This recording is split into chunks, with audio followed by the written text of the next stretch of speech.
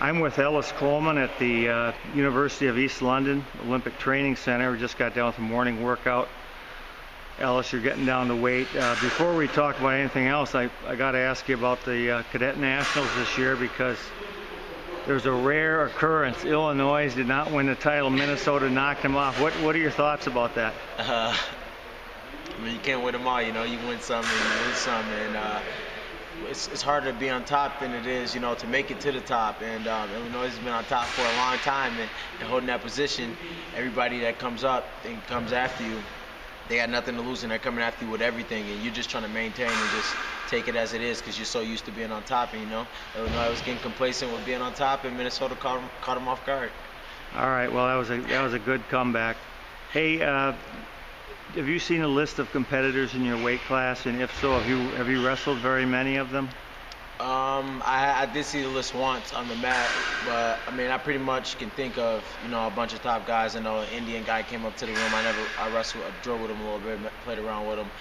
Um, last year at Worlds, I saw the Iranian and the Kazakhstan guy both in the finals. I know those two at my weight. The Cuban beat me. Um, uh, Japanese guy is there at my weight. Bulgarian guy, the Venezuelan guy. Uh, so I mean, I know a good like 10, 10 guys in my weight that, that are pretty good, legit wrestlers.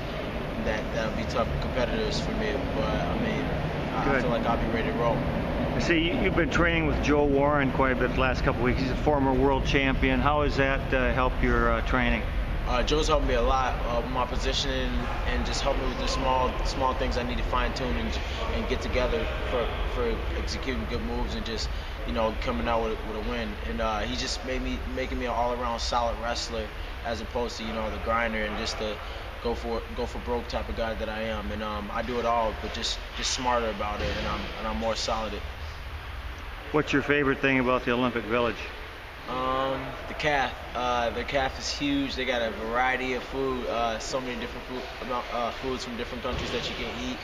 And um, I just can't wait to get to the McDonald's. I've never seen an all-you-can-eat McDonald's before ever in my life. Like just anything you want for free. And I, I'm really looking forward to getting McNuggets and McFlurries all day after this. Yeah. After there's, I weigh in. there's some good people watching in the village, isn't there? Especially in the calf. Yeah, there is. Have you run into any of your favorite uh, celebrities? Uh, yeah, actually, um, during the Grand March uh, or the uh, opening ceremonies, um, I uh, took pictures with Kevin Durant, uh, hung out with Westbrook for a little bit. We did the Dougie together and we danced around for a little bit. Chris Paul, I chilled with them and talked with him after the calf. And besides that, I mean, the basketball players are just me and my team.